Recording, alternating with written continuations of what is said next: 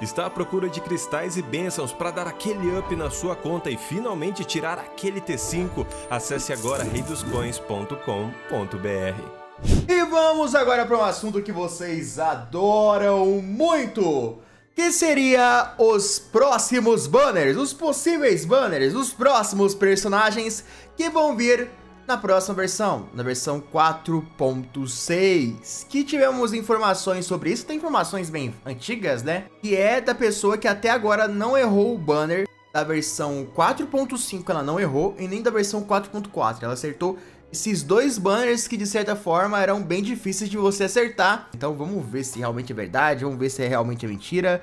Estou muito curioso para tudo isso. Lembrando, né, estou aqui em live como vocês perceberam, aqui o pessoal da live está comentando. Tá todo mundo aqui, você poderia estar aqui comentando junto comigo, junto com eles. Todo mundo feliz, todo mundo alegre, e é isso. Então, basicamente, a gente vai ter que pegar tantas as é, referências sobre as informações que a gente tem sobre a 4.6, como também referências desse site aqui, ó, do Paimon Moe. Basicamente, na versão 4.6, a gente vai ter na primeira parte o nosso queridíssimo Fatui, o mágico de Fontaine, Linei. Aplausos. E pra mim era impressionante, quer dizer, não é tão impressionante assim, porque sinceramente, se a gente olhar... Vamos voltar de novo pra tabela? Se a gente olhar a tabela aqui, cara, o Linnei é um dos personagens que provavelmente tiveram ao lado da Shinhe, né? Personagens que demoraram muito para retornar. Já tem 10 banners que ele não, ele não vem. Então, eu já achava que o Linnei estaria junto com a Arlequino, porque querendo ou não, Arlequino é simplesmente o pai do Linnei, father do Linnei, então acaba que sim, faria muito sentido os dois estarem juntos, o Linnei que já demorou muito para retornar, essa era a hora boa, vai retornar os dois juntos, vai ter a missão da Arlequino, com a missão da Arlequino o Linnei vai aparecer nessa missão, e com isso teremos os dois no mesmo banner juntinhos. Yeah! Só não é tão alegre assim para quem queria desejar no banner de armas, porque se a gente olhar as armas você vai ficar um pouco triste, porque a gente vai ter o arco do Linné. Quer dizer, mais ou menos. Se, por exemplo, ah, eu gosto de ter um arco do Linné, deixa eu pegar aqui o arco pra, ficar, pra mostrar pra vocês, né? A gente dá dano crítico no seu substatus, nossa taxa crítica aumenta o dano do seu ataque carregado. Quantos personagens do mesmo elemento que você tiver, você ganha um efeito de atuação. É um excelente arco. Sinceramente, dá um dano crítico bizarro, aumenta o dano carregado e aumenta seu ataque se você tiver personagens do mesmo elemento. Se por acaso você não tiver Linnei, Shignari, Yoimiya, Ganil, Tartaglia, já não vou recomendar tanto assim esse arco, tá ligado? Já não vou recomendar tanto assim você desejar no banner de armas. Vai ser um pouco triste você quiser ter a lança da Arlequino, que eu sei que a lança da Arlequino tá muito bonita, porque vira uma foice, mas ter o risco de pegar o arco pode ser um pouco triste para você. Agora, se você pensa em ter o Linnei para sua conta, talvez seja interessante desejar nesse banner. Achei que o player tinha pego a deusa Chiori. Não. Ainda bem que eu não desejei nela. Ele disse que o Fatui pensei no Child. É, porque o Ninguém lembra, né, que o Linnea é um Fatui. Sentiram da Roya é difícil? Muito. Ele é espada de Chipos. A espada de Chipos é muito forte. A única arma que eu estou hypado. Cara, a arma da Arlequino é muito incrível porque ela muda de forma, mano. Viu o Linnea junto com o Arlequino foi de F. O arco do Linnea eu já peguei. Nossa, calvo motoplay. Aí é difícil, hein? Como funciona a análise de conta? Basicamente, tu dá a exclamação análise, tu vai ver. Já que você tá na Twitch, ou Cleynaldo. Você tem os pontos da Twitch, que se você ficar na live, você pega os pontos e consegue fazer análise de personagem por ID. Então, né, temos o Linnei. Na parte 1 também teremos a Arlequina. A Arlequina a gente começou, comentou muito sobre ela. Ela vai ser simplesmente, já falei em diversos vídeos, uma excelente DPS do elemento Pyro. Não tenho nem que falar, ela vai ser nível Rutal. A Rutal já é uma personagem forte. Só que a Arlequina ela vai ter um tom um pouco mais diferente. Ela vai funcionar de uma maneira mais complexa. Diria que até mesmo a Arlequina parece um Alhaitan de combos, tá ligado? Ela tá uma personagem muito mais diversificada, principalmente da mudança que ela sofreu. Que agora você tem que ativar as habilidades de maneira certa, ativar o ultimate da maneira certa, fazer a rotação certa da equipe, porque se você não faz tudo isso, você perde seu dano, mas se você faz tudo isso corretamente, assim como o próprio Raitan, você tem um dano absurdo. Absurdo. A análise funciona para PS, para PlayStation. O Genshin é universal. Para falar da Arlequina, me lembro quando você estava entre Chiori e ela. Ah, verdade. Cara, depois que a Chiori veio, as habilidades. Depois que eu soube das habilidades da Chiori, eu instantaneamente desisti dela. Então, a Arlequina vai ser uma DPS de Pyro, que vai funcionar com um monte de personagem forte. Ela vai funcionar com Kazuha, vai funcionar junto com o próprio Benet, porque ela escala com ataque. Ela vai poder ser utilizada junto com a Chivraz, junto com a Cheve, né? Com ações de sobrecarga. Ela vai entrar em composições de mono elementais. Vai funcionar junto com a Furina, vai funcionar junto com a Elan, vai funcionar junto com o Shinkyo. Ela é uma personagem muito versátil, muito incrível tem uma mecânica bem única, com certeza vai ser uma excelente DPS, vai ser uma das melhores DPS do jogo, junto, é claro, com o próprio Neuvlet, Messi Neuvlet. Boa noite, Hero! Passando agora para a parte 2, para surpresa de todos nós, teremos tanto Andarilho, que é outro Fatui, Arlequino, Linei e Andarilho, que tecnicamente ele não é mais Fatui, né? Ele foi excluído da história, da realidade, ele não é mais considerado Fatui. Mas mesmo assim, ele é tecnicamente. Andarilho, que é o personagem 5 estrelas do elemento Anemo. Ele é um DPS que é focado nos seus ataques normais, pros seus cortes, não é mesmo? Geralmente quem utiliza andarilho, quem escolhe andarilho pra conta são pessoas que são main andarilhos, pessoas completamente insanas. Quer dizer, na verdade não, Vamos dar o ar da graça aqui, gente. O Andarilho é o melhor personagem para fazer exploração desse jogo, mano. O Andarilho é muito bom pra você escalar... Escalar não, você voar e não precisar escalar montanha, de você fazer puzzle, de você pegar aquele hidroculo, dendroculo, piroculo, que tá no alto, e aí tu tem o andarilho e você consegue voar. Ele consegue fazer aquilo que a própria retentora das nuvens não faz, que é voar, né? Porque a retentora ela pula. Então o andarilho é muito único, né? E principalmente se você tiver, por acaso, uma Faruzan Constelação 6 aumenta seu bônus a Nemo, aumenta seu dano crítico quando você causar dano a Nemo, tira a resistência a Nemo, aumenta o tempo da ultimate dela, causa mais dano e por aí vai. É isso que a Paruzan faz junto com o nosso queridíssimo Andarilho, não é mesmo? Não diria que o Andarilho é um dos melhores DPS atualmente, mas ele é divertido de se jogar, né? Ele voa, ele faz os cortes de Anemon pelo ar, ele chuta o ar e cria um vácuo. Ele tem uma passiva bem única, né, que eu achava que ia estar em outros personagens, que é essa passiva aqui, mano. Cara, eu acho essa passiva tão incrível porque é uma das passivas que faz sentido ele ser do elemento Anemo. E dependendo do elemento que ele absorver, ele ganha algum bônus. E isso aqui poderia estar tá em tanto personagem diferente, mais personagem Anemo e também personagem de gel, tá ligado? Essa passiva aqui poderia muito facilmente entrar num personagem de gel que faz reação de cristalização. Só que a Mihoyo, não sei, ela não quis fazer isso aqui, tá ligado? Você gosta de qual personagem? Do próximo que eu desejar, mano. O próximo, o mais novo personagem da minha conta é o que eu mais gosto. Atualmente, o que eu mais gosto é a Navia, que foi a última. É um personagem que faz um abismo com tranquilidade. É mais ou menos, né? Ele voa, ele é fofo, ele explora, ele é fofo. O andarilho é bom. Eu gosto também desse combo das flechas, né? Que ele, quando você dá dash, ele dispara flechas. Acho super legal.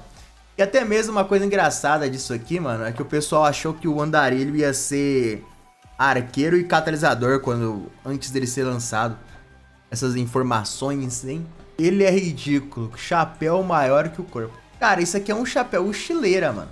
E o personagem que vai estar junto com ele vai ser só incrivelmente o nosso queridíssimo médico de Liue Baizu. Cara, vocês não acham incrível que nesse banner da 4.6 teremos Linei, Andarilho, Arlequino e o Baizu? Isso significa o quê? Vamos colocar lado a lado. Vamos lá, né? Vamos lá, né? Ó, se eu, faz... se eu fizer isso aqui, gente. E aí, vocês perceberiam que é o Baizu? Parece ou não? Seria Baizu o verdadeiro Fatui, mano? Seria Baizu o mensageiro Fatui? Porque ele tá só de lado de Fatui, Linei, Arlequino, Andarilho. Baizu. Não, pra mim é com certeza Baizu confirmadaço, mano. confirmado ba Baizu Pantalone, mano. Confirmado, mano. Pra mim, isso confirmaram. Baizu, pra quem não sabe, é atualmente um dos melhores healers do jogo. Ele é simplesmente absurdo para quem duvida, quem ousar, para quem simplesmente ousar duvidar do nosso queridíssimo Baizu, ele está simplesmente entre os personagens mais usados do jogo. Está basicamente em sétimo lugar de personagem mais usado do lado da Nárida. Então, se você por acaso se atrever a falar que o Baizu é um personagem ruim, você está completamente enganado. Sério, não faz sentido, Baizu. Se, se, se fechar o olho, parece. O Oda confirmou isso, verdade. Não me arrependo de ter pego de jeito nenhum o Baizu. Cara, o Baizu é um excelente personagem. E a Chiori aí? A Chiori é porque é uma personagem nova, tá ligado? Mas, sinceramente, o Baizu é um excelente personagem. O Baizu é muito forte. Ele é incrível! Por que, que o Baizu é muito forte atualmente? Primeiro que ele possui passivas que aumentam o seu próprio dano elemental, né? Propriamente dito, a sua passiva Mãe Terra, que ele, quanto mais porcentagem de vida ele tiver, mais vida ele tiver, mais dano nas reações de dentro você causa. Ele tem um escudo, uma proteção boa na sua ultimate, e não é aquele escudo pra você aguentar dano, mas, assim, um dano que você sofreria, você acaba não sofrendo por causa desse escudo. Então é bem forte, além da cura dele ser absurda, e porque ele querer tão poderoso com essa cura, com esse dano, justamente por causa da Furina. O Baizu junto com a Furina é ridículo. O Baizu junto com a Furina é uma das melhores duplas desse jogo. E aí, o que, que tu combina? Pega Baizu e Furina. Agora mistura. Mistura Baizu Furina em outras equipes. Mistura Baizu Furina na equipe do Risley Melt. Coloca Baizu Furina junto com o Neuvilete. Coloca Baizu Furina junto com o Sino, mais uma Nárida. Coloca um Baizu Furina junto com um, Ayato. Até mesmo nem precisa ser Baizu e Furina. É Ayato, Baizu e Nárida. Junto com Ayato. Tá ligado? Coloca Baizu, Nárida junto com Yaemiko e Raiden Shogun. Baizu junto com Nilou. O Baizu atualmente é um personagem bem poderoso, saca? Ele não é ruim, mas de longe ser bom. Cara, o Baizu é subestimado. Então, Brilhante, é... Basicamente o que eu falei é que no começo do vídeo, o banner, ele é especulado, mas quem, essa pessoa que tá falando sobre esse banner é quem já acertou o banner da 4.4 e da 4.5. Então as chances são bem altas. Player, você notou um certo boicote nos subs de farm de artefato? Um boicote? Não, sempre foi ruim mesmo.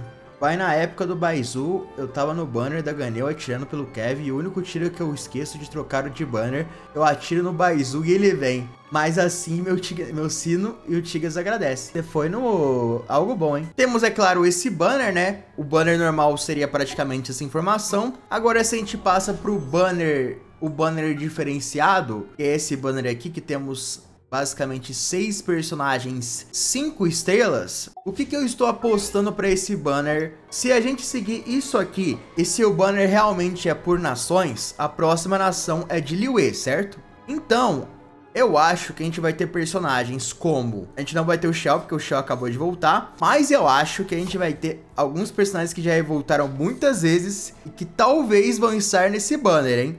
E vai e vai quebrar muita gente, tá ligado? Esse banner, se realmente for de Liu esse banner vai quebrar muita gente. Então rezamos para que não tenha esse banner nessa versão. Mas se tiver esse banner nessa versão 4.6, eu vou dizer quais personagens vão estar. Primeiro deles, Tartaglia. Ah, mas o Tartaglia é de Snake Snipe. Mas ele é considerado de Liu Ele é considerado de Liu e faz tempo que ele não retorna, ele já tem mais que três banners. É claro que também, por exemplo, né, tirando o Tartaglia, né, também temos o caso da Kiki, que ela é de Liu também temos o caso da Keking, que essas duas vão estar nesse banner com certeza. Então temos mais quatro espaços. Dentre esses quatro espaços, a gente tem o Tartaglia, ele é basicamente considerado de Liu temos a Ganil, que também ela já tem mais que três banners há muito tempo, faz tempo que ela não retorna. Então, possivelmente ela vai estar nesse banner, porque ela também ganhou uma skin, então eu acho que ela vai estar nesse banner. O Shao não vai estar porque ele voltou recentemente. O Tal tem altas probabilidades de estar nesse banner. O Tal tem mais de três banners, faz tempo que ela não retorna, então é muito possível ela estar nesse banner novo também. Então temos aqui 2 mais 3 aqui, que dão basicamente 5. Falta mais um, não é mesmo? Tá faltando mais um. E quem seria? Quem seria quem tá faltando? Que seria a nossa acreditação Yelan. Yelan que também tem três banners. Faz tempo que ela não retorna. E possivelmente ela pode estar nesse banner. E eu diria que a Shinhei só não tá nesse banner porque ela não tem três banners. Porque faria muito sentido ela tá nesse banner. E o Baizu também só não tá nesse banner porque ele também não tem três banners. Ele vai ter o terceiro agora na 4.6 se tudo se confirmar. Então é isso. Pra quem não tem Elan, fique triste. Vai ter que pegar Elan e a Arlequino no mesmo, na mesma versão.